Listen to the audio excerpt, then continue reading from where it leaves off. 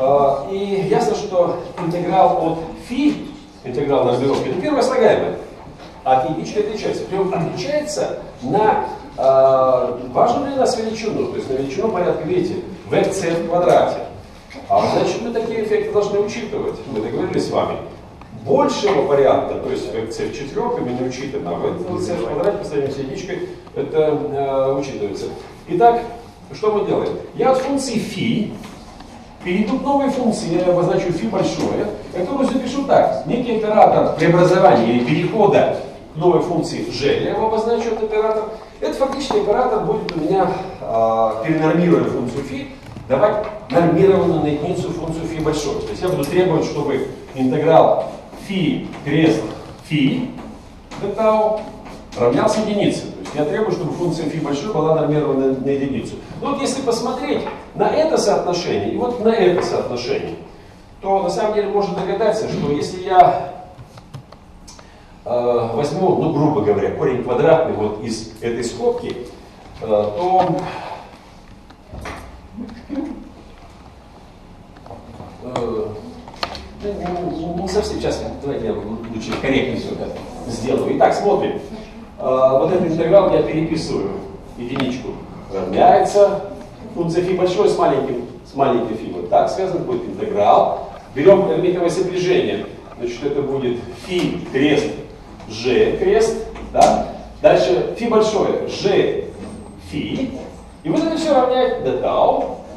И все это равняется единичке. Ну, так вот давайте сейчас сравним вот эти два интеграла. Ну, видно, что здесь вот как раз между фи крест и фи зажато g крест g, а там вот эта скобка круглая. То есть фактически нам нужен оператор g, оператор перенормировки выбрать так, чтобы g крест на g вот давал эту круглую скобочку. А, ну, я выберу оператор g нормированным на единицу. Вернее, э, неправильно я говорю эрмитовым, эрмитовым выберу. Вот. Ну и давайте, если я его выбираю эрмитовым, тогда у меня будет g квадрат равняется единица плюс p четвертый на 4m квадрат c квадрат. Вот. Ну а g надо корень квадратный извлечь. Вот чему мы и пришли. То есть g я выбираю таким образом э, корень квадратный. Ну вот это величина по сравнению с единичкой, это на c в квадрате, я считаю, что она мне, э, второй слагаемый мало по сравнению с единичкой, э, тогда я корень могу приближенно извлечь, ну, то есть корень из единицы плюс x равняется единице плюс x пополам. Ну и тогда g это будет единица плюс p в четвертой на 8m квадрат c квадрат. Более того, вот э, здесь я могу даже вот это приближение убрать приближенно. Почему? Потому что мы договорились с вами, эффекты порядка ВНЦ в четвертой для нас нули. нули. Мы их раньше уже повыбрасывали. Поэтому мы сейчас и права не имеем учитывать вот это разложение в ряд по ВЦ в квадрате ну, до более высоких порядков. Ну, нельзя, видите, как бы, это, это в общем-то, э, правило не только к нашей задаче относится. То есть, если вы э, какие-то приближения делаете, ну, то есть выбрасываете, скажем, э, слагаемые там порядка, ну, какие-то порядка, определенного порядка малости. Ну, если вы как-то там серию каких-то делаете выкладок, то надо договариваться, чтобы на каждом этапе этих выкладок вы четко придерживались выбранного вами порядка и отбрасывали слагаемые скажем, в данном случае порядка ВНЦ в четвертой и более высокие, высокого порядка. А, ну и нельзя себе представить ситуацию, что где-то в середине вот, расчетов вдруг начали эти эффекты учитывать. До того не учитывали, а вдруг начали учитывать. Ну, ясно, что вы ерунду все получите.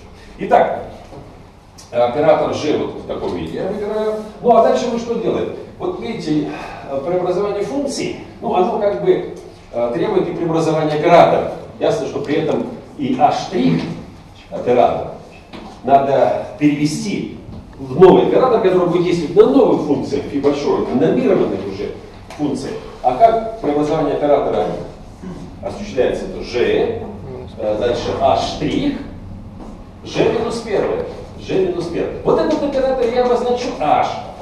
И тогда я могу записать уже уравнение э, типа Шрёдингера для функции φ большое. Оно будет выглядеть точно так же. И h d φ большое по dt равняется h φ. Вот здесь я уже оставлю э, h без штрихов. И h у меня вот будет чему равно. Э, то есть э, сейчас у меня функция φ нормирована на единицу, уравнение имеет шрёдингерский вид, и я могу четко сказать, что собственное значение оператора h это поправки к энергии, скажем, релятивистические, если я буду рассматривать, собирать как, они будут включать собственное значение релятивистскую энергию, ну еще и какие-то поправки к энергии. Собственно, то, чего я ищу как раз. А, ну вот, h давайте выпишем тогда. А, значит, во-первых, g минус 1 надо найти. g равняется, видите, вот единица плюс маленькая, маленький какой-то тут вот довес еще, так? Ну, тогда понятно, что g минус 1 в нашем приближении, g минус 1, ну а g минус 1 на g или g на g минус 1 единичку должно давать, так? Единичку. Ну, понятно, в нашем приближении g минус 1 единица минус v4 на 8 m квадрат c квадрат. Итак, это единица минус p4 на 8 n квадрат c квадрат. Вот я в прошлый раз говорил, что здесь такая рутинная э, математика, рутинные преобразования, ну, они довольно-таки громоздкие. Ну вот мы сейчас э, так приближаемся к, апе, к апогею этой громоздкой, к вершине этой громоздкой, громоздкости. Итак, оператор H я сейчас выпишу, как он будет выглядеть. Вот, видите, как связан с H'. H' у вас выписан. Итак, H пишу. H равняется G у меня единица плюс B четвертой на 8 n квадрат c квадрат. n квадрат c квадрат. Скобка закрывается. Дальше у меня была еще одна скобка там. Единица минус n плюс b в четвертой на 4n квадрат c квадрат.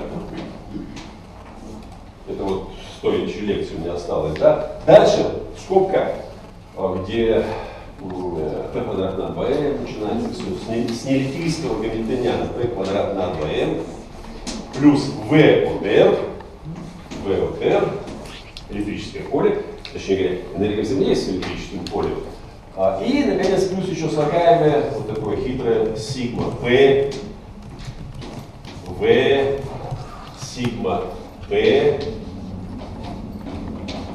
э, делить на, ну, по-моему, 4m квадрат c квадрат. Я по памяти пишу.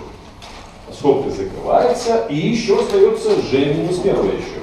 То есть единица минус p четвертой 8n квадрат c квадрат. О как! Ну, вы можете себе представить, вообще говоря, э, такое, ну, громоздкое, действительно громоздкое выражение для оператора Гамильтона. Единственное но, или э, единственное, э, что здесь немножко смущать должно. Дело в том, что вот в этом выражении немножко перепутаны слагаемые, которые мы должны учитывать, и слагаемые, которые для нас нули, которые соответствуют перебору точности. Ну, о чем я говорю? Ну, смотрите, p квадрат на 2m плюс v от r это гамильтониан нерелятивистского приближения. Ну, понятно, что он в конце концов должен остаться, но как он останется? Ну, надо взять из всех скобок единички. Вот мы как раз получим p квадрат на 2m. Вот я так, собственно, и начну равняется p квадрат на 2m плюс v от r. То есть не релятивистский гамильтониан. И вот что-то останется, причем то, что останется, это эффекты порядка v c в квадрате от нерелятивистской, от нерелятивистской части. Ну а у нас здесь, конечно, такие слагаемые есть, но есть и слагаемые более высоких степеней. Ну, например, вот смотрите, p квадрат на 2m. Если я p квадрат на 2m свяжу, скажем, со вторым слагаемым, а оно порядка v на c в квадрате само по себе, да, ну все, тогда я вынужден, чтобы это слагаемое оставить в нужном для меня приближении, и всех остальных скобок только единички взять. А если я из остальных скобок возьму не единички, а вот, вот эти вот еще добавки, будет перебор точности. То есть это, и они имеют право эти слагаемые учитывать. Поэтому это выражение его нужно как бы причесать. Во-первых, выбросить а, все эффекты а, порядка большего, чем в nc в квадрате. А, поэтому на самом деле слагаемых не так много останется. Вот. Но э, я на самом деле опущу вот, э, это причесывание, опущу. Я принципиальные вещи сказал, что мы оставляем эффекты порядка b в квадрате по сравнению с нелативистной частью, так? Вот. А вот э, их вытаскивание, так? И дальнейшее причесывание их, ну, то есть их преобразование в форму максимально удобную для анализа, вот это я э, оставлю. Значит, э, какие здесь вот э, ну, подводные камни, что ли? Что надо здесь, где, в каких местах нужно поднапрячься? Э, вот смотрите, ну, во-первых, вот эта комбинация сигма P, V, сигма P. Вот она не очень такая уже удобная, э, ее нужно будет преобразовать. А, поэтому вот этот вопрос преобразование комбинации сигма p, вот помните, мы с вами говорили, сигма p на сигма p, это p квадрат. Вот. Ну, здесь, конечно, сложнее, потому что v от r зависит, вот, а p дифференциальный оператор, поэтому здесь нужно аккуратненько сигма p проносить через v, и по дороге обязательно у вас еще градиент v появится, да? Вот. То есть надо это слагаемое преобразовать. Вот задача преобразования слагаемого, это на самом деле отдельная задачка в частности, из задачник, из задачника Карнаков Когангальский. Поэтому эту задачку я вот отдельно вам и э, запишу даже отдельно. Так, чтобы здесь сейчас не возиться с этим преобразованием. То есть преобразовать выражение сигма p. Дальше некая функция от r, ну я прямо запишу p от r. Сигма p. p оператор равняется преобразование. Это вы, вам задачка домашняя. А, далее, ну ясно, что тот, кто будет рассказывать этот вот, э, вопрос, значит, вот, э, он должен это найти где-то так. Вот, если сам не выводить, то вот, переписать, ну, по крайней мере, с пониманием того, о чем идет речь. И, наконец, еще одно. Одно соотношение, нам понадобится, вот смотрите, какое соотношение у нас, какое выражение появится. Вот скажем, я беру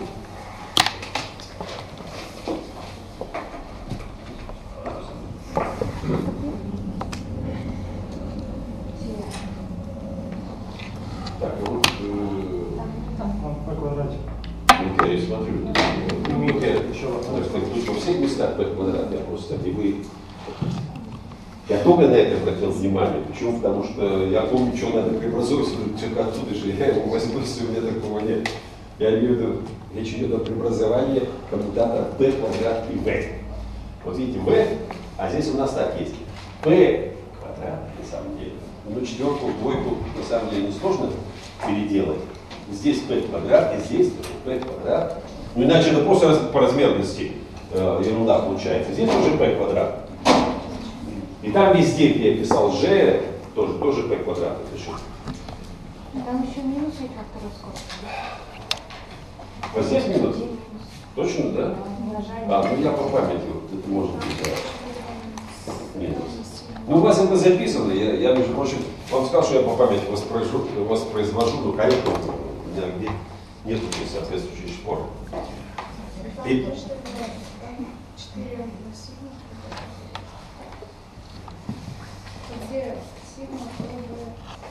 Сигма P, В, сигма.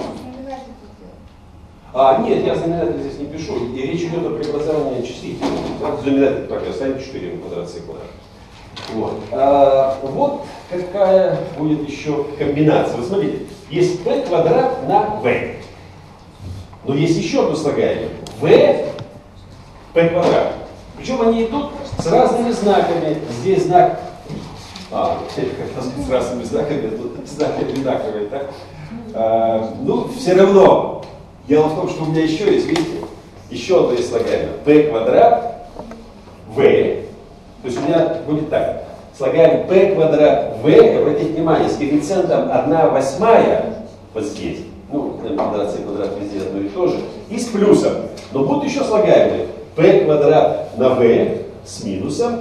И вот здесь p квадрат на... Э, да, и здесь v на p квадрат с минусом, но здесь 1 восьмая тоже так. Поэтому на самом-то деле э, в результате у вас появится обязательно вот такой коммутатор p квадрат на v от r p квадрат на v. Ну, я, кстати, зря связался вот с этим слагаемым. Проще было вот это, конечно, p квадрат на v и v на p квадрат, там с плюсом, тут с минусом. Но на самом деле вмешается обязательно еще вот это слагаемое. Поэтому чуть-чуть там посложнее будет преобразование но как бы это слагаемое лишним оказывается, да? Но когда вы будете преобразовывать вот эту комбинацию, у вас еще появится как раз нужный для того, чтобы образовать еще один коммутатор, еще одно слагаемое появится. То есть в результате появится вот такой вот коммутатор. То же самое, вам задачка рассчитать этот коммутатор v квадрат на v. Кстати, обратите внимание, что э, такого нетривиального даст этот коммутатор. Так как p квадрат ну, оператор Лапласа, формально, да, значит, у вас обязательно здесь появится слагаемое типа оператора Лапласа на V. Вот. И это слагаемое останется до конца и, и будет давать вклад в одну из литвийских поправок. Чуть немножко вперед забегу. Итак, вот, э, после того, как вы это причесывание закончите, вы получим на самом деле три поправки. Вот я их перепишу. V1 плюс V2 и плюс v3. Всего три слагаемых останется нетривиальных. То есть три слагаемых, еще раз повторяю, порядка v на c в квадрате по сравнению с первыми двумя. Кстати, мы с вами уже об одной литвийской поправке говорили в свое время. Э, это классическая литвийская поправка. Э, Причем она работает в случае есть поле, нет поля, то есть она для свободной частицы работает. Это поправка, я напомню, минус p4 на 8m в кубице квадрат. Мы ее получали каким образом? Брали просто разложение э, энергии релятивистской эпсилон равняется, ну, давайте я напомню.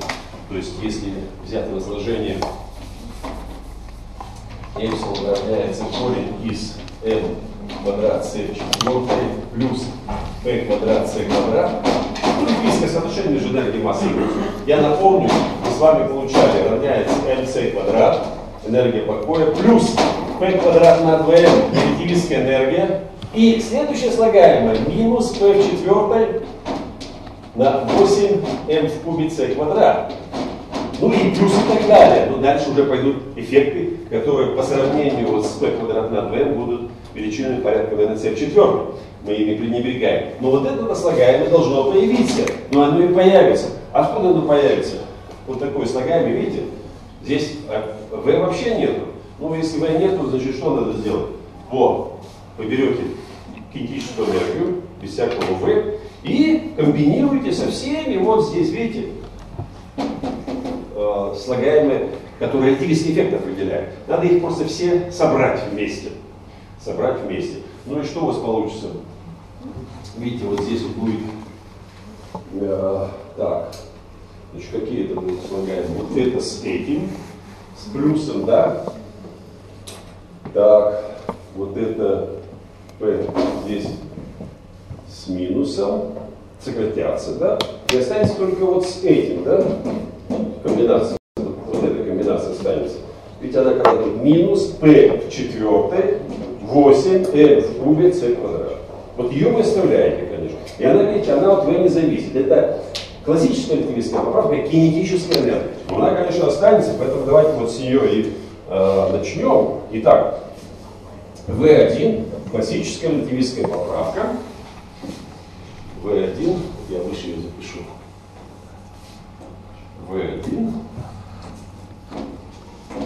Ее можно было сразу записать. Вот не проводя всех этих э, рассуждений, это минус p в четвертой на 8m в кубе c квадрат. классическая релятивистская поправка или поправка кинетической энергии. Вот на самом деле эту поправку очень часто в задачах с, э, с полями, с электрическими полями, э, переписывают немножко. Ну, на самом деле, видите, хотя формально она не зависит от поля, этот оператор, но дело в том, что кинетическая энергия, видите, она с потенциальной энергией всегда в паре работают, так, э, полную энергию определяя. И вот очень часто э, здесь выделяют квадрат кинетической энергии. Ну, то есть что надо сделать? Квадрат кинетической энергии, нерелятивистский будет p в четвертый на 4m квадрат. p в четвертый на 4m квадрат. P в четвертый, четвертый мы занимаем m квадрат. Итак, это равняется минус. Останется здесь двойка, 2mc квадрат останется, а вверху будет квадрат кинетической энергии. Но квадрат кинетической энергии можно записать так. h 0, то есть не релятивистский гамильтониан, то есть p квадрат на 2m плюс v, вот, ну и минус v, конечно, да, минус v. Тогда у вас появится, видите, ну в квадрате, когда у вас появится здесь оператор, который вообще-то включает v. Вот. Ну понятно, что, конечно, хотя формально э, первую поправку V1 э, потенциальная энергия как бы и не входит, так? но это только формальное э, не. На самом деле, конечно, вот, э, поле электрического, этот вклад будет реально зависеть от нашей задачи. Далее, ну дальше пошли вот э, такие нетривиальные чисто квантовые поправки V2 и V3, вот они-то получатся как раз после того, как мы вот эти все преобразования с коммутатором, там, с комбинацией сигма P, сигма P, все это вот закончим. Значит, эти две поправки, э, соответственно, носят название поправка спин-орбитальное взаимодействие. Ну, давайте V2 значит. V2 спин-орбитальное взаимодействие.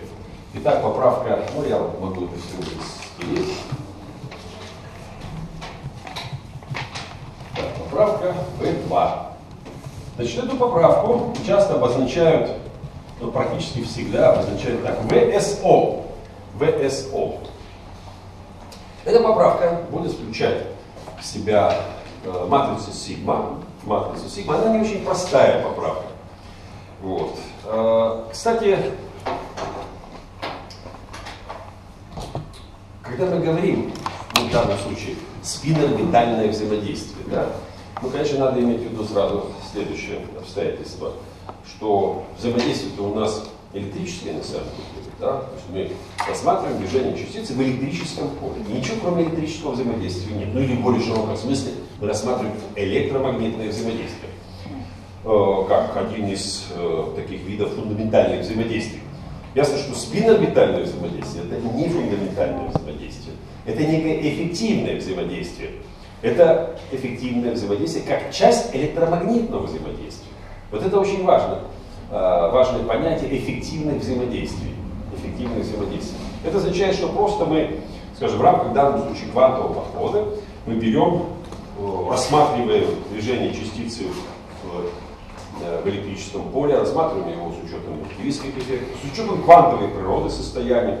Вот. И в результате мы получаем некоторые вклады, видите, вот Э, ВОТ просто, ясно, что ВОТ классический характер имеет, так? Но наряду вот с этим классическим, как бы, классической частью электромагнитного взаимодействия, мы получаем еще несколько добавок. Вот. Ясно, что это части того же взаимодействия, но их появление обусловлено учетом квантовой природы и релятивистских эффектов.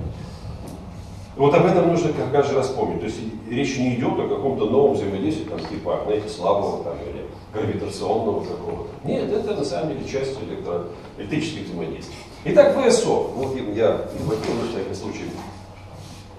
Так, а, равняется h сигма на 4m квадрат c квадрат. Ну вот этот вот знаменатель 4m квадрат c квадрат, он так все время у нас а, будет повторяться. Ну а дальше вот такая комбинация набла v то есть градиент VOTR, градиент VOTR на оператор импульса. Ну, такая, видите, непростая комбинация.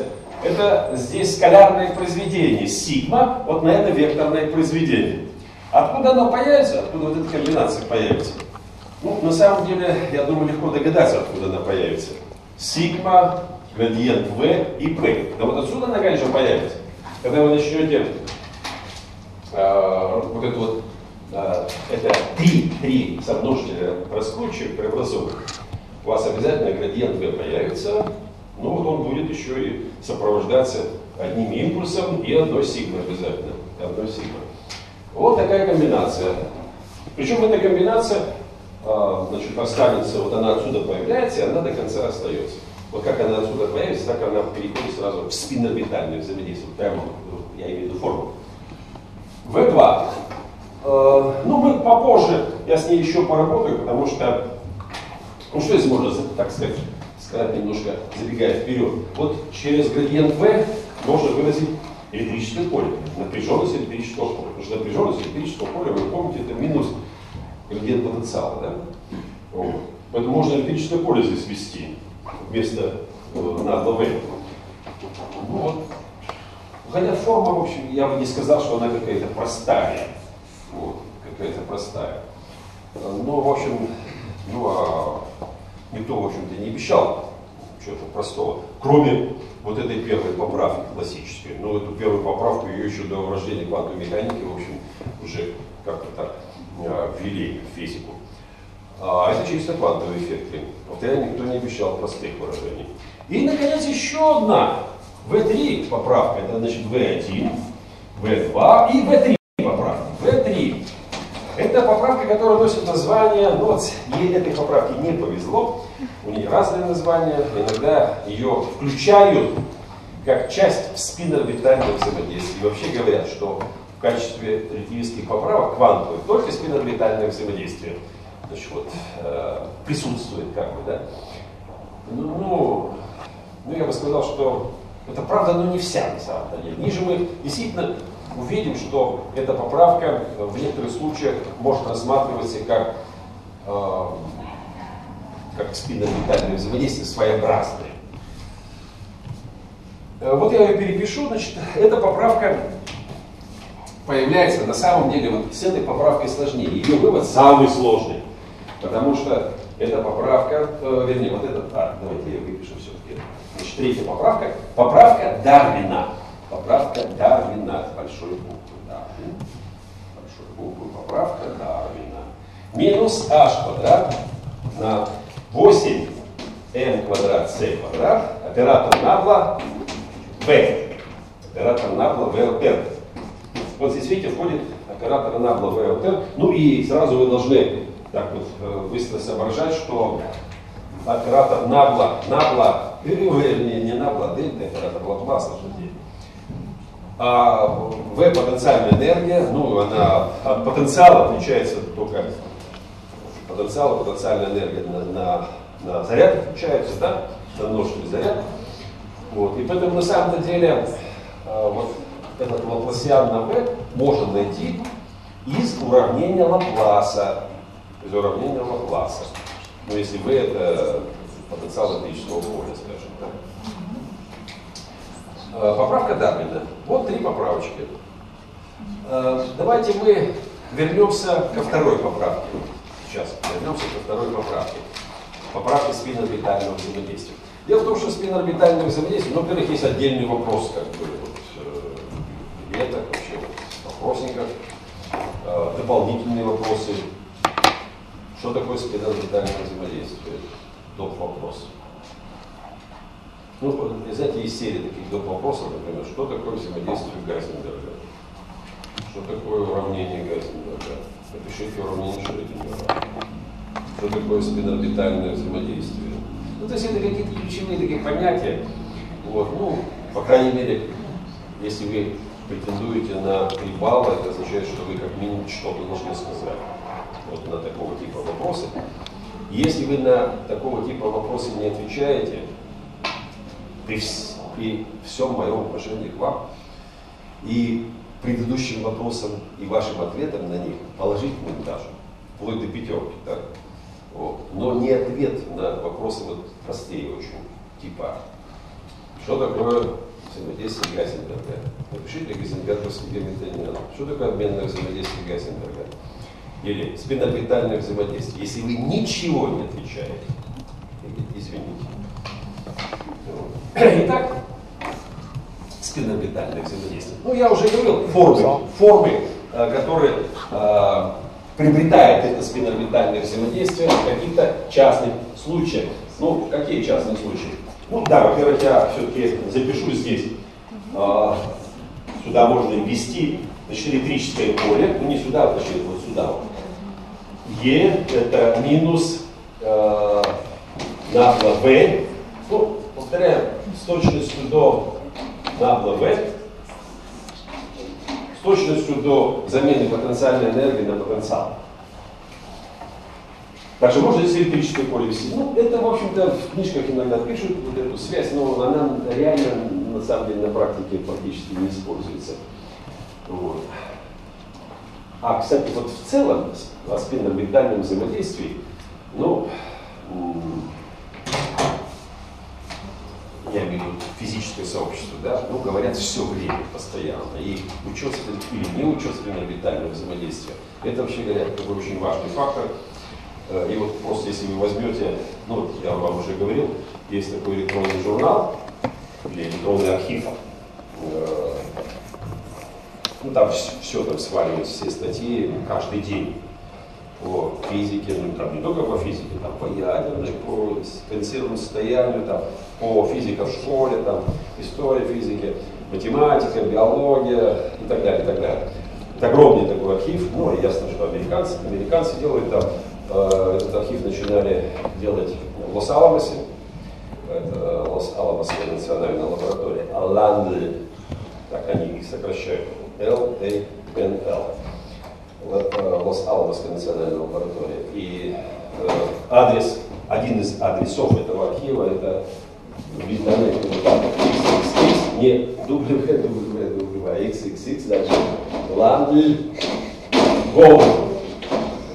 Это очень интересный архив, я вам советую, почему? Потому что там статьи-то есть по всем разделам. Ну, например, вы читаете раздел физика, так? И в самом конце раздела физика обычно приводят статьи, которые автор э, послал как бы в несколько разделов. Ну, там и социальные науки есть. Ну, вот я вам пример привожу. Статья, смотришь в конце физического раздела, статья, например, о описании эффекта э, оранжевых революций. Нормально тогда. Ну, кстати, я думаю, что это все так вот логично. Ну, действительно, какой-то зародыш, да, фазовый переход первого рода, появление зародыша, вот он маленький, да, он дохнет, а потом критический размер, он там начинает разрастаться и так далее, и так далее. Нет, там масса а, есть таких полезных, интересных иногда в широк, для широкой аудитории статей. Ну, например, какие там статьи для широкой аудитории. Например, рейтинг. Рейтинг э, таких известных городов в мире, да, по, например, их, ну, физически назовем это рейтинг. А, то есть это рейтинг, а, ну, его можно условно назвать рейтинг публикаций, скажем, да, рейтинг публикаций физического. Причем э, там высокорейтинговые города отмечены таким э, зеленым, по-моему, или красным. Ну, не важно, скажем, зеленым. Я не помню цвет, потому что ну, это где-то есть у нас даже картинка. Кстати, это недавно было сделано. Ну, а такие низкорейтинговые города, скажем, красные.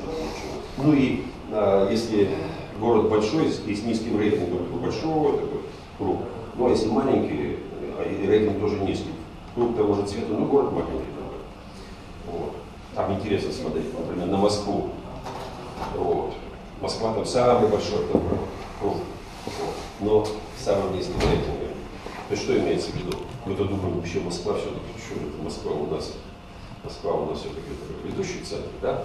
Дело в том, что этот рейтинг подсчитывает, а, число научных работников, так, ну и число публикаций, и их рейтинг еще, так, то есть можно очень много публиковать, а, но очень большим количеством ученых, так, так называемых, и э, с малым рейтингом, ну, получишь ноль. Можно публиковать много, но маленьким коллективом и с небольшим рейтингом, в общем-то, да, но получить, в общем-то, большой такой вот плюс. Вот там мы совершенно были удивлены, там Россия вообще все в одном цвете практически была, да? Вот, но не в том, каком нужно. Вот. А, конечно, это отражает ситуацию определенную. Хотя, с другой стороны, вот тоже интересно смотреть. Каждый день в этом архиве появляются статьи. Причем вот вы сейчас вот зайдете в этот архив, э, там будут статьи выброшены, как бы, они обозначены сегодняшним днем, но это означает, что за сутки куда набросали. Ну там, скажем, в физическом разделе Кондмат, Condensed Matter, это физика конденсированного состояния, там в течение дня забрасывается до сотни статей. Э, сейчас, вообще говоря, все физики считают э, ну, обязательно, да, обязательно статью забросить до публикации. Ну, некоторые, правда, этого не делают, некоторые забрасывают статью, как только она как только они узнают, что она опубликована будет, скажем, да, они туда сразу забрасывают. Ну, чтобы там, скажем, кто-то раньше времени, там, их идею там, не, не, не, не взял и так далее. Вот. И там масса интересных вещей. Просто, например, смотришь, как представлены разные странные города, скажем так, тоже уже прямо вот наглядно так пробегаешь, смотришь. И, кстати, интересно, вот если говорить о России, то я бы сказал там фамилии российские, они вообще довольно часто встречаются.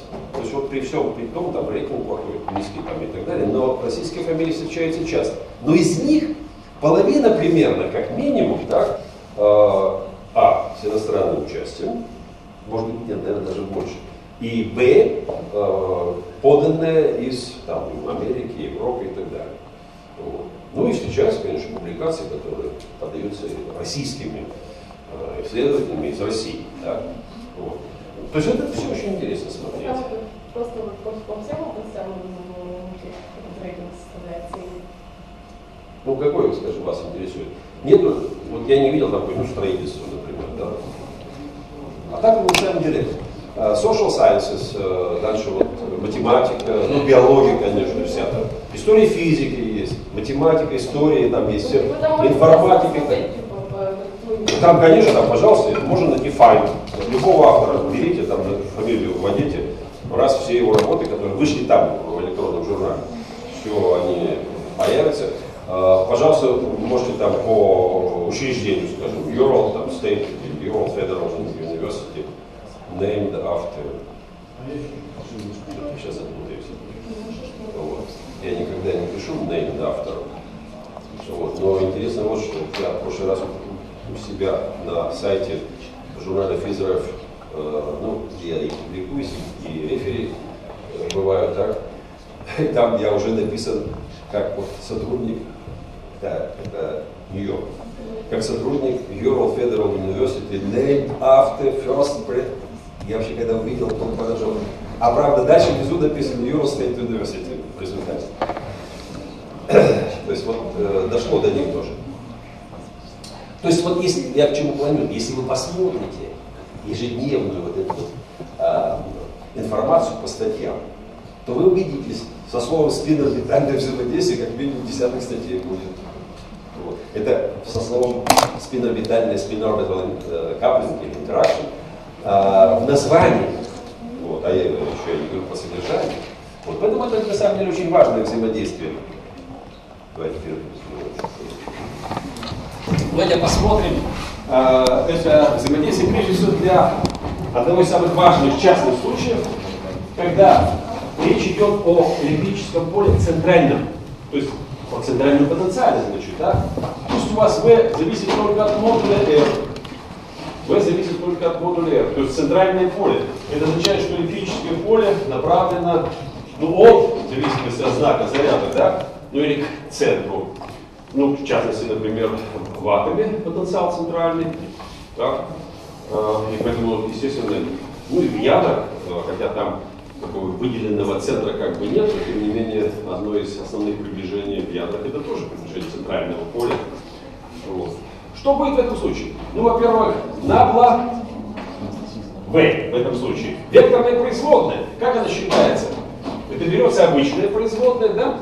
dv по dr по модулю r, и направляется, грубо говоря, в кавычках направляется эта производная по радиус вектору.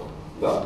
Поэтому ответ, смотрите, как будет. Единица на R, dv по dr, dv по dr модуля на R. Вот это как раз R вектор делить на R модуль, это единичный вектор направления радиус-вектора. Ну а dv по dr, ну грубо говоря, модуль этой производной.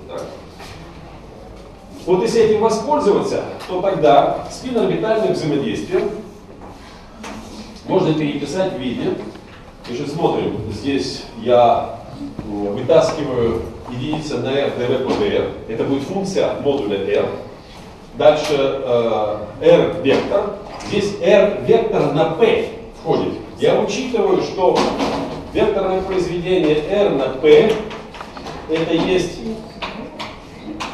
оператор орбитального момента, да? оператор орбитального момента. Дальше я учту, что матрица сигма входит. Но матрицу сигма можно, ну не можно, это собственно спиновая матрица, только не нормированная. Но я веду нормальную спиновую матрицу S маленькая, равную, напоминаю, H пополам на сигма. Это фактически матрица спина одна вторая. И в результате у вас появится так. S, ну а вместо этой скобки я вытащу единицу, наверное, ВПД, такой вот фактор пересчета. И будет L орбитальный. То есть появится скалярное произведение S на L. И в результате спин-орбитального взаимодействия в этом случае можно переписать в виде A от R, некая функция от модуля R на скалярное произведение S и L.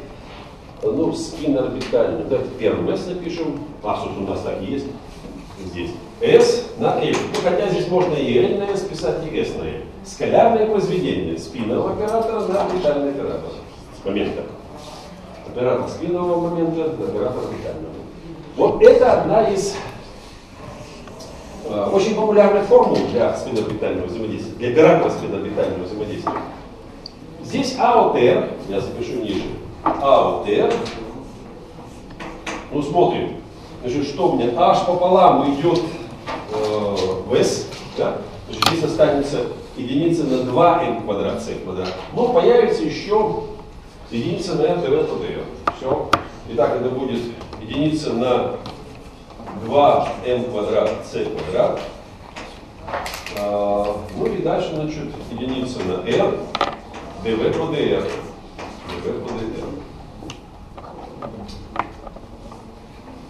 Кстати, если V это потенциальная энергия, потенциал кулоновского поля, то есть если V R ведет себя как единица на R, как единица на R, тогда что у вас здесь будет? dv по dr от единицы на от единицы на r, это будет минус единица на r в квадрате, да? Да тут еще r. Значит, все это, вся эта функция будет вести себя как единица r в кубе. Вот это тоже надо запомнить. То есть для кулоновского потенциала, кулоновского потенциала, ну давайте я прямо э, введу кулоновский потенциал, скажем, для электрона в атоме водорода прямо запишем. Итак, спинорбитальное взаимодействие для электрона в атоме водорода. В этом случае V от R это минус ZE квадрат на R. ZE квадрат на R. Ну тогда я беру производную dv по dr, это будет плюс единица d квадрат здесь появится, да? И а от r в этом случае будет выглядеть так. Вот здесь вот нужно будет ze квадрат добавить. Так, ze квадрат. ze квадрат на 2n квадрат c квадрат. Единица n в кубе. N в кубе. Вот эта зависимость для э, фактора А от F в атоме, она тоже очень популярная. Очень популярная. Единица n в кубе. Ну, э, вот у кого она популярна? Кому надо точно эти вещи хорошо представлять? Ну, я имею в виду физическое сообщество. Ядерщики. Ядерщики. Дело в том, что вот, э, в отличие от атома, ну, с атомом мы ниже сейчас увидим, с атомом в атомах роль спинорбитального взаимодействия будет существенно зависеть от места атома в общем строю таблицы Менделеева. В начале эффект слабенький, к концу эффект сильненький, будет очень сильненький. А вот в ядрах спин-орбита обычно очень большая. она как бы так аномально большая по сравнению, и роль относительная роль спинорбитального взаимодействия в ядрах аномально большая по сравнению э, с ее ролью в атомах, как бы. Ну, это и понятно, что вот электрические эффекты в ядрах, они как-то более сильные. Вот, и поэтому э, в атомах, конечно, э, спид орбиты относится очень так вот щепетильно и учить там обязательно. Ну, э, я так видел, так? В атомах, повторяю, вот мы увидим выше, что на самом деле вклад экспериментального взаимодействия, скажем, в энергию будет пропорциональный Z4. Z4, поэтому в начале таблицы Менделеева это слабый эффект, но. А, Поэтому для ядерщиков спидорбита и этот фактор единственной откуда очень важен. Раз. А, Ну, те, кто занимается вообще атомными спектрами, ну, вот я сразу смотрю здесь вот астрофизика, да, для астрофизиков. Вообще вся атомная, атомная спектроскопия для астрофизиков, хотя они как бы вот живут на Земле, а витают в облаках, вот, тем не менее атомная спектроскопия для них, пожалуй, более важна, чем для любых физиков, вот, как ни странно.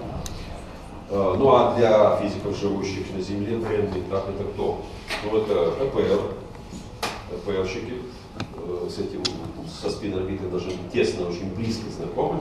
Это и- ядерный резонанс, конечно, ядерный резонанс.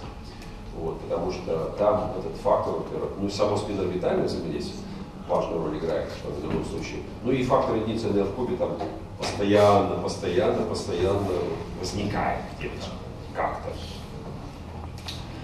А, То есть поэтому это, это как, не какой-то раздел такой общей теории. Ну, посмотрели, послушали и разошлись.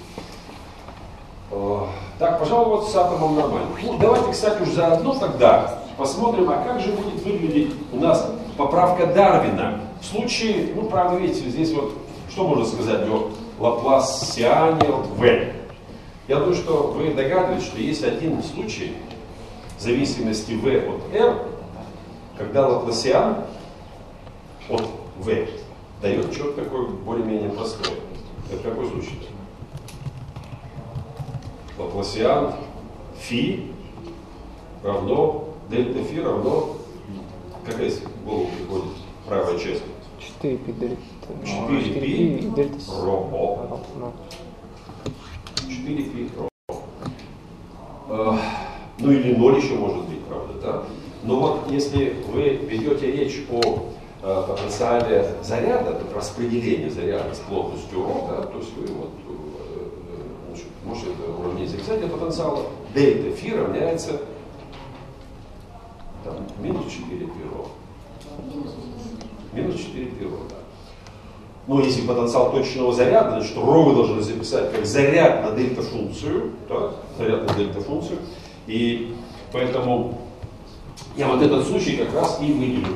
Итак, вот, берем случай, да, потенциал поля точного заряда, зачем я потенциальная энергия? Потенциальная энергия. То есть тогда вот здесь я учитываю то самое уравнение, которое вы мне наговорили, то есть там, когда 4 π ро, потенциал поля точного заряда, значит, я ро заменяю на заряд на дельта функцию Дирака, и тогда поправка Дарвина переписывается ну, в виде популярном в атомной, опять же, физике, в атомной спектроскопии. Вот я константы соберу, и, наконец, V3, значит, для поля точного заряда выпишу поле точного заряда. Итак, для поля точного заряда, вот у меня потенциал выписан, v от минус dt квадрат R. Итак, V3 тогда вот так выглядит. Это π z e квадрат, e квадрат, h квадрат, делить на 2m квадрат c квадрат, c квадрат, дельта функция Дирака. Дельта функция Дирака. Вот о чем, вообще говоря, говорит, о чем вообще говоря, говорит вот это выражение. Наличие здесь дельта-функции. То есть э, наличие дельта-функции всегда говорит о контактном характере соответствующего взаимодействия. О контактном характере соответствующего взаимодействия. То есть ясно, что с V3 мы связываем некое эффективное взаимодействие. Это тоже часть электро, электрического взаимодействия, или в общем случае электромагнитного взаимодействия. Вот. Обязанное в нашем случае как раз, ну, опять же, квантовому характеру состояний. Вот. Обратим внимание, что речь о чем идет. вот о чем говорит появление дельта-функции. То есть у меня точный заряд в центре координат, в начале координат сидит точка 0, да? Вот.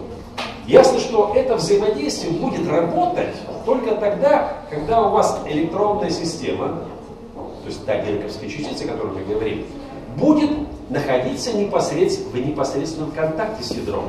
То есть будет вступать в контактное взаимодействие. Поэтому иногда вот эту поправку называют контактным, контактной поправкой. Контактной поправкой. Ну, дело в том, что есть еще э, такой термин контактное взаимодействие Ферми. Вот. Э, там немножко, ну, идеология-то та же самая, но сама форма поправки немножко другая. И контактное взаимодействие Ферми относится к так называемым сверхтонким взаимодействиям. Мы об этом говорили, на самом деле, э, еще в том семестре. Здесь контактная поправка, можно назвать контактная поправка Дарвина. Но, повторяю, это э, поправка, которая работает в случае кулоновского поля, кулоновского электрического поля. А в каком случае, какие электроны вступают в непосредственный контакт в атомах с ядром? Это S-электроны. S-электроны. Поэтому форма этого взаимодействия сразу о чем говорит? О том, что фактически эта поправка будет давать наблюдаемые эффекты только в атомах, только для S-электронов. Только они могут попасть в область ядра. Вероятность обнаружения с электрона на ядре отлично от нуля. А вот все остальные, P, D, F и так далее электроны, я напомню, для них существует расстояние наибольшего сближения с ядром. То есть они не могут попасть непосредственно в область ядра. То есть вступить в контакт с ядром. А значит, для них эта поправка в ноль обращается. То есть она существует, но наблюдаемых эффектов для P, D, F и так далее электронов не будет, только для S электронов. Но интересно обратить внимание, на вторую поправку спинорбитального взаимодействия, смотрим вот в атоме, да, S на H. Для S электронов H равно нулю, поэтому спинорбитальное взаимодействие, вот это правильное, корректное спинорбитальное взаимодействие, для S электронов в ноль обращается, потому что орбитальный момент равен нулю. Поэтому странная ситуация получается. Спинорбитальная поправка для S электронов в ноль обращается, а поправка Дарвина только для S-электронов работает. Поэтому иногда поправку Дарвина называют спин-орбитальным взаимодействием для S-электронов. И вот если э, взять и объединить эти две поправки, V2 и V3, да, в единую, ее иногда, ну я считаю, что это не совсем корректно, иногда ее называют спин-орбитальным взаимодействием в целом. Включая, повторяю сюда, поправку Дарвина как спин-орбитальное взаимодействие для S-состояния.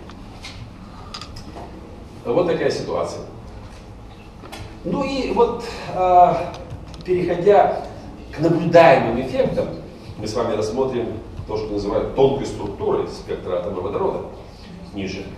Э, я бы хотел сказать еще пару слов о э, размерностях, единицах, изме... единицах. Ну или единицах просто. Единицы, единицы измерения называют. Дело в чем. Вот давайте посмотрите вот на первую поправку V1. Все поправки имеют, конечно, размерность энергии. Но обратите внимание, здесь вот видите, во-первых, внизу стоит энергия mc квадрат, mc квадрат. Это энергия покоя. Ну а вверху там стоит, значит, вот э, тоже квадрат энергии, так что в целом у вас это все имеет дело размерность энергии. Вот. Но а, на самом деле при рассмотрении релятивистских эффектов очень часто, а, ну, в атомах, прежде всего, я про атом уже говорю, очень часто используют э, атомные единицы. Атомные единицы. А, ну и в соответствии с этим возникает всегда вопрос, а как перевести, вот, например, это выражение в атомные единицы. Я напомню, мы об этом с вами говорили, но на самом деле об этом можно все время напоминать, все время говорить. МЦ квадрат в атомных единицах. МЦ квадрат в атомных единицах чему равно? Ну, а в атомных единицах, значит, безразмерная будет величина. Ну, вообще, c квадрат в электроновольтах сколько? Для электрона. По умолчанию мы говорим об электроне. mc квадрат, я масса электронов. Это сколько в электроновольтах? Никто не помнит? Ну, примерно. Полмиллиона электронов вольт. 500 тысяч электронов вольт. Ну, примерно 500 тысяч. Э, если вас спрашивают просто оценка, это, ну, если электрон э, миллион электронных вольт обозначать как МЭФ, вот так вот. МЭФ. Не надо путать вот с таким обозначением. МЕФ. Это МЭФ, а это МЕФ. Ну, это маленький, это миллиэлектронный вольт, а это миллион электронных вольт. МЭФ. Ну, Нет, понятно, что очень. А это я по- по-русски записал, как у меня МЭФ, я говорю, а записал по-английски. Ну, на самом деле, конечно, э, чаще это все встречается сейчас в литературе на английском. Ну, МЭФ и... Ну, все равно хочется так сказать, МЭФ, а тут МЭФ. Э, МЕФ это одна тысячная электронная вольта. Ну, одна тысячная электронная вольта это какая единичка? Вот, из нам понятных 10, электро- э, 10 градусов Кельвина. 10 градусов Кельвина примерно. Потому что один электронный это 11 тысяч градусов Кельвина. 11 тысяч.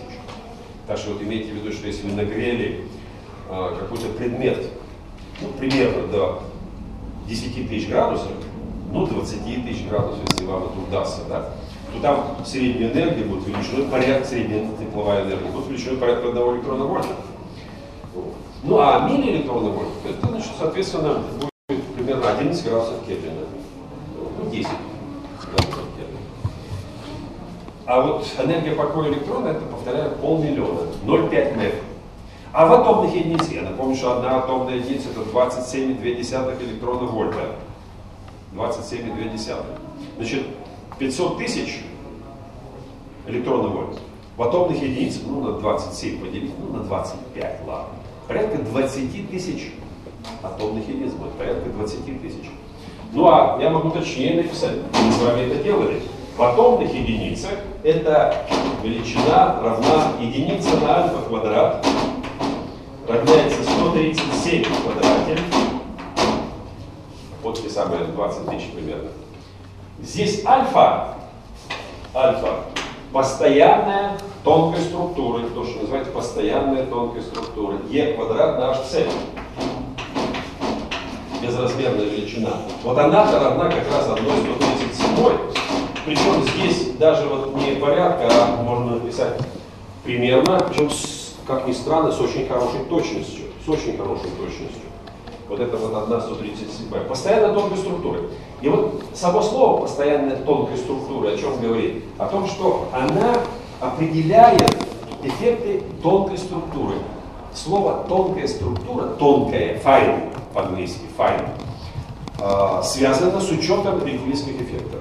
С учетом релятивистских эффектов. Потому что есть еще понятие сверхтонкой структуры, так? Вот. Это немножко, это не означает, что учет выше, чем релятивистских эффектов. Нет, это немножко другое. Мы с вами об этом говорили. Под сверхтонкими взаимодействиями, под сверхтонкой структурой мы понимаем эффекты, связанные со взаимодействием электрона с ядром. Не самые сильные кулоновские взаимодействия, а более слабые. Это мультипольные, прежде всего, ядерное квадрупольное взаимодействие и магнитные взаимодействия, магнитные сверхтонкие взаимодействия. Вот. Они слабенькие, они, э, как правило, много слабее даже вот эффектов тонкой структуры, то есть релятивистских эффектов для электрона. Э, Единица на альфа квадрат. Поэтому понятно, что, видите, вот этот фактор, если вы все в атомные единицы переводите, ясно, что фактор mc квадрат, смотрим, он сразу вам даст, оп, в знаменателе, он даст в числителе альфа квадрат. Альфа квадрат. И вот это альфа квадрат, это маленькая величина, сразу будет масштаб задавать всех релятивистских эффектов. Так жди их маленькими. Жди их маленькими. Вот. Э, Поэтому ниже мы будем переходить к атомным единицам, вот об этом помня. Ну а как переходить атомным единицам, скажем, э, потенциальной энергии В? Э, я напомню тоже, потому что ниже я некие такие вот рутинные преобразования пущу. Например, В в атоме, да? ВЛТ, сейчас мы перейдем к атому водорода, ВЛТ будет минус д квадрат на R. Как записать это выражение, это же размерность энергии, как записать это выражение в атомных единицах? На самом деле очень просто, смотрите.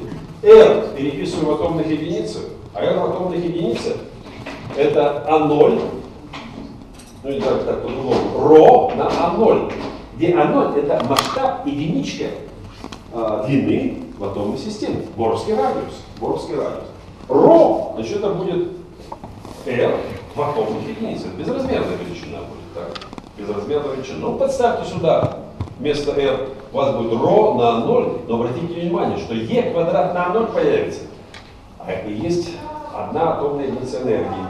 E квадрат на 0. Почему? Одна атомная единица энергии, я напомню, это есть фактически энергия взаимодействия электрона с ядром на расстоянии первого Борского радиуса. Ну, школьная формула E квадрат на А0. Поэтому в атомных единицах все будет очень просто. Минус z, e квадрат на 0 пропадает, естественно, на ρ. Вот так запишется э, потенциальная энергия взаимодействия электрона с ядром в атомных единицах. Здесь ρ будет безразмерным.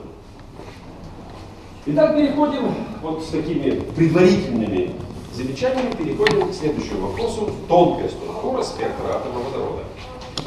То есть наша задача вот в чем состоит? Вот мы нашли три релятивистских поправки к, к, движению электрона в электрическом поле.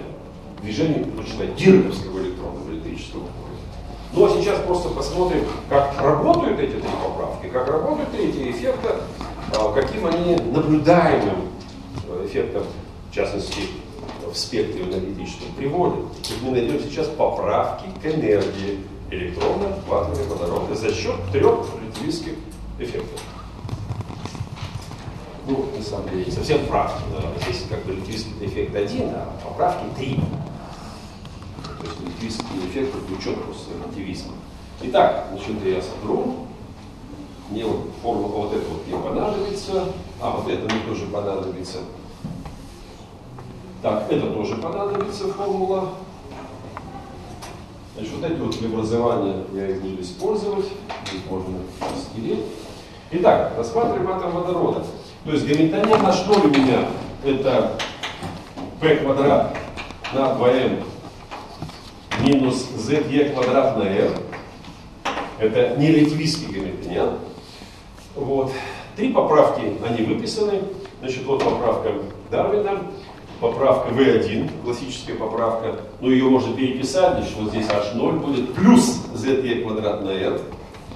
Ну и, наконец, поправка скринорбитального взаимодействия, вот она тоже здесь выписана. Только вместо dr я представляю, значит, э, ZE квадрат на F кубе будет, ZE квадрат на F Ну а дальше значит, я рассматриваю эффекты. Я беру э, уровень ну, давайте договоримся. Будем использовать теорию возмущений. Раз. Причем в общем случае, поскольку, поскольку в неинтегристском приближении уровни энергии в атоме водорода вырождены, значит, мы должны использовать в общем случае а, теорию возмущений для вырожденного уровня. Итак, я беру в этом случае n уровень, n уровень, n у меня фиксировано будет, да, в, не, в нерелятивистском приближении энергия у меня в атомных единицах это минус z квадрат на 2n квадрат атомных единиц энергии. Это нулевое приближение у меня, En. N уровень. А дальше мне нужно что сделать? Я напомню, что в первом приближении теории смущений поправки к энергии, ну в нашем случае к, n, к энергии n уровня, будут определяться собственными числами матрицы. Вот я выписываю n, l, m но только одно но. Дело в том, что у меня же, видите, еще и спин учитывается, да? Поэтому мне на самом-то деле надо здесь еще и спиновое квантовое число писать. Спиновое магнитное квантовое число. N, L, M главное квантовое число, орбитальное, магнитное орбитальное и магнитное спиновое квантовое число.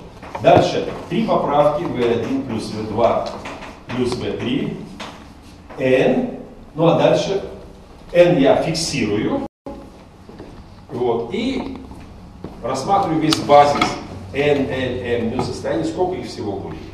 Вы должны помнить, что кратность вырождения, то есть число состояний при фиксированном n, 2n квадрат. Поэтому это пишется матрица 2n квадрат на 2n квадрат. То есть размерность у нее 2n квадрат на 2n квадрат. С учетом спины, конечно. Почему? Потому что спинорбитальное взаимодействие есть. Я не могу спин выбросить. Ну, кстати, а, если вы учитываете спин, то у вас есть два, две возможности выбирать базис. Либо NLMU, то есть здесь вы как бы не складываете орбитальный и спиновый момент в суммарный момент. Либо второй вариант, это вариант работы в схеме сложения орбитального и спинного момента. То есть, наряду с этой матрицей вы можете по-другому искать э, собственные числа, э, выписывать другую матрицу. Ответ-то будет все равно один и тот же. Либо вот такую матрицу я пишу N, L, S, ну S одна вторая вообще на самом деле, ну давайте так и запишем, одна вторая, Ё, N большое, дальше три поправки, V1 плюс V2 плюс V3, N, L, штрих, одна вторая, Ё, штрих, M, штрих. И такую матрицу. Тоже матрица будет 2n квадрат на 2n квадрат. Но здесь вы используете базис в схеме сложения моментов. Ну, на самом деле, вот при расчете всех трех эффектов, всех трех вкладов, э, на самом деле, оказывается, приходится иногда использовать и, и этот, и этот базис. Для некоторых поправок этот проще и удобнее, для спинорбитальных поправок удобен этот базис. Сейчас мы увидим, почему. Вот, дальше идет задача такая чисто, ну, практически такая рутинная задачка. Надо найти собственное число этой матрицы. Ну, во-первых, ее выписать надо, так? Вот. Потом искать. Ну, давайте вначале проанализируем вот эти три матрицы. Вот V1, вот V2, вот V3. Ну, каждый из них как бы, в результате даст здесь свой вклад в эти собственные числа. Посмотрим, как, какие проблемы там будут у нас возникать в расчете этих матриц. Ну, давайте с V1 начнем. Вот, V1. Ну, обратите внимание, что функции, которые здесь фигурируют, это собственные функции нелективистского гамильтониана, это функции нулевого приближения. Поэтому вы можете спокойно пользоваться при расчете вот матрицы, ну, фактически надо считать вот матрицу числителя, так? Можете спокойно воспользоваться тем, что h0 на вашу функцию n, a, m, mu просто равняется эпсилон n, a, m, mu. Здесь у вас появится h0 в квадрате, раз. Матрицу от h0 в квадрате рассчитать еще проблем нет. Так как у вас h0 будет давать эпсилон n, значит матрица от h0 в квадрате даст квадрат энергии эпсилон n, так, и дельта символы все. А дальше здесь v, но v это чисто радиальный оператор. Чисто радиальный оператор. Ясно, что у вас вот, если это радиальный оператор, то матрица этого оператора будет диагонально, ну по спинам, конечно, уже без спинов. То есть μ штрих должно быть равно μ. Дальше, ну вот проекции орбитального момента радиальный же оператор. Нет зависимости, значит m' должно быть равно m. Ну и наконец вообще это оператор радиальный, не орбитальный, значит l' должно быть равно l. Поэтому на самом деле я вам сейчас сразу же запишу вклад поправки V1. Он очень, ну, по крайней мере, я бы сказал, просто считается. Не то чтобы очень, но просто. Итак, посмотрим эту поправку, вернее, эти матричные элементы, я так запишу, просто V1 выделяется, NLM, μ, V1, N, L штрих, M штрих, μ штрих, равняется. Дельта символы вначале пишу. Дельта L, L штрих. Дельта M, M штрих. Дельта μ, μ штрих. а дальше пойдут фактически только радиальные интегралы. Радиальные интегралы. И ответ так будет умножить. Ну, во-первых, минус единица на 2mc квадрат, я пока в общей системе запишу. На, умножить на, ну, так, на минус 1 на 2mc квадрат. Дальше вот h0 что я получу? Вот я раскрываю квадрат, у меня будет 3 слагаемых. 3 слагаемых. Значит, кстати, здесь можно ввести удвоенное произведение, потому что H0V и VH0 на самом деле один и тот же вклад Итак, здесь будет первое слагаемое эпсилон n в квадрате. Это H0 в квадрате. Второе слагаемое, это удвоенное произведение, минус 2 эпсилон n, а дальше от, от оператора v что здесь будет? Минус v это плюс ze квадрат на r. Радиальный интеграл от единицы на r. Значит, я пишу так, умножить на ze квадрат и радиальный интеграл, а радиальный интеграл я обозначу так, единица на r средняя. Я повторяю, работаю пока не в атомных единицах, а в обычных. Это вот удвоенное произведение сработало у меня. Ну, наконец, еще квадрат сработает v квадрат. Но это чисто радиальный оператор, он мне даст плюс ze квадрат в квадрате. И радиальный интеграл единица на r квадрат среднее. Сколько закрывается? То есть фактически, чтобы рассчитать эту матрицу, нужно рассчитать два радиальных интеграла. Ну, для атома водорода это все считается. Более того, все эти радиальные интегралы вы найдете в любой книжке. Сколько, сколько рассказываю, это в книжке как раз изложено. Поэтому с гарантией единица на средняя, единица на квадрат средняя, радиальный интеграл. В любой книжке по квантовой механике просто будут выписаны. А, ну давайте я просто вам, у вот, сейчас я делаю, если выписано, я тоже вам приведу. А, вот выписано. Э, я вот сейчас приведу их. Так, значит, средняя от единицы на r. Интеграл. Вот, это z n квадрат. Ну, вот здесь можно было бы написать в атомных единицах, да, в атомных единицах. Ну, а если я в общей единице пишу единица на 0. Вот так. Ну, а в атомных единицах это вот просто будет zn квадрат z в квадрате. Дальше единица на r в квадрате, средняя радиальный интеграл. Значит, все орбитальные спиновые интегралы, которые здесь входят, вот они в давление, видите, что эти символы только. Смотрите, сколько радиальных. Интеграл на радиальные функции. Вот я их выписываю. И единица на квадрат. Ой, единица на квадрат. z квадрат на n квадрат L плюс 1 вторая. А, единица, если опять же в общей системе, единица на 0 в квадрате. Ну а если в атомных единицах, ну просто единица на 0 в квадрате выбрасываете. Так и будет иметь размерность, в общем случае, единица на сантиметр или метр в квадрате. Ну а в атомных единицах будет безразмерная величина.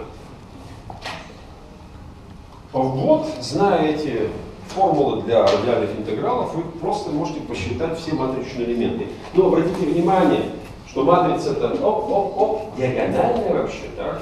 И поэтому то, что мы здесь вот найдем справа, без символа, это прямо вклады в поправки к энергии от V1. То есть можно считать, что мы их, грубо говоря, нашли. Прямо вот поправки в, энергию. Ну, кстати, обратите внимание, опять же, если я перейду в атомные единицы, единица на c в квадрате даст альфа квадрат. То есть все это будет сопровождаться величиной альфа в квадрате. Что будет указывать на малость на самом деле этой поправки. Ну а здесь что надо будет сделать? Энергию взять в атомных единицах, она у меня выписана, да? Здесь это в атомных единицах, здесь e квадрат убираем просто, z, а здесь единица на ρ, или единица на r берем в атомных единицах, там интеграл выписан. Здесь точно так же, e квадрат убираем, а единица на r в квадрате берем в атомных единицах. Все, формулы все записаны, все суммируем, получаем прямо эффект уже в энергии, в поправке литвийской поправки к энергии за счет V1, за счет классического литвийского, классического литвийского эффекта. Ну идем дальше. Значит, у нас остается поправка э, Дарвина. Так, поправка Дарвина, контактная в данном случае поправка. Ну, от нее расчет очень простой. Значит, смотрите, э, вот представьте себе здесь V2. V2. Но V2 это константа на дельта-функцию Дирака. Ну а вы знаете, что э, интеграл с дельта-функцией Дирака, ну чему равен просто? Интегрирование снимается, надо взять под интегральную функцию, в данном случае в нуле, потому что у вас дельта-функция стоит, дельта r минус 0. Как бы. Но все под интегральную функцию в нуле, это значит, что надо взять? Вот эту функцию в нуле и эту функцию в нуле, только это с комплексным сопряжением пойдет. Но мы с вами договорились, что в нуле эта функция отлична от нуля только при равном нулю. Поэтому матричные элементы от V2 вообще считаются Тривиально просто. Смотрите. N, L, N, mu, V2. Нет, это V3 у меня. А, я V3 перескочил. А, V3, да. Ну, ладно, не страшно. Ну, кстати, поправку V2, она пострашнее будет, поэтому мы ее поставим на сферу. Итак, вот третья поправка. N, n' n' u'. Ну понятно, что снова будет дельта символа по L, n', n', μ'. Почему? Потому что поправка в ноль не обращается. Только в случае, если L ноль, ну и L', естественно, ноль. Ну а если они поменяют, то n и m' нули тоже. Ну а так как это беспинная поправка, то мю и мю' должны совпадать, дельта будет. Поэтому все равняется. Пишем Дельта L 0, дельта L штрих 0, дальше дельта мю мю штрих. Я и не пишу даже здесь дельта символ m и m штрих, потому что если L и L штрих по нулям, m и штрих нули только могут быть. Ну а дальше что пишется? Надо вот константу взять π, z e квадрат h квадрат, π, z e квадрат а, h квадрат. Так, дальше вот это вот 2m квадрат c квадрат, 2m квадрат c квадрат. Ну и что будет еще? Пси. Или, получая фи напишу, вот э, орбитальная функция. Пси n s от нуля по модулю в квадрате. То есть плотность вероятности обнаружения s электрона на ядре плотность вероятности обнаружения S электрона на ядре. Ну, поскольку, поскольку, видите, здесь поправка диагональная, то есть матричный элемент диагональный, это не поправка, матричный элемент диагональный, то поправка к энергии за счет эффекта V3, ну вот она прямо, все. Надо только функцию φ ns от нуля э, посчитать. Ну вот это то же самое. В любой книжке по квантовой механике эта штука есть, я ее выпишу тоже на всякий случай. Итак, это я вот теперь могу стереть. А здесь выпишу еще φns от нуля по модулю в квадрате. Это плотность вероятности обнаружения S электрона на ядре. Ну, вообще говоря, такая характеристика интересная для а, атома. Ну, речь у нас идет об атоме водорода, я напомню. Так, это... А, так. Что тут нет какой-то странный. Так, равняется z в кубе на n в кубе. z в кубе на n в кубе. Об атомных единицах. А, давайте вот договоримся. Плотность вероятности. Плотность вероятности имеет размерность единицы на объем. Плотность. Вероятность без, безразмерна, плотность вероятности имеет размерность единицы на объем. А, но объем ну, что такое? Cm метр кубический квадрат. В атомных единицах это А0 Боровский радиус в кубе. Поэтому если вы хотите перевести в обычные единицы, то здесь вы пишете единица на А0 в кубе. Если же вы пишете э, в атомных единицах, то все, больше ничего не надо. Вот это момент очень важен. И, кстати, когда вы где-то в литературе ищете, там, в статьях, книжках, вот столкнулись с какого-либо выражением средними, ну, посмотрите внимательно, а в каких единицах автор работает. Вот. Если эти величины, скажем, или, или эти безразмерных единицах выписаны так, ну, значит, он работает в атомных единицах, скорее всего, ну, почти без исключения. Но тем не менее, каждый раз нужно вот об этом внимательно, э, на это внимательно обращать внимание. внимание не просто обращать внимание. Все на сегодня тогда. Мы действительно детальную успели рассмотреть, там действительно времени надо побольше.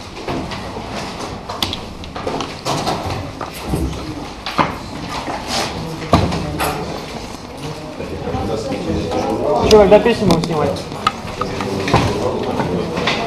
Можно сделать какой-нибудь там под современный лад, там, не знаю, гитары добавить.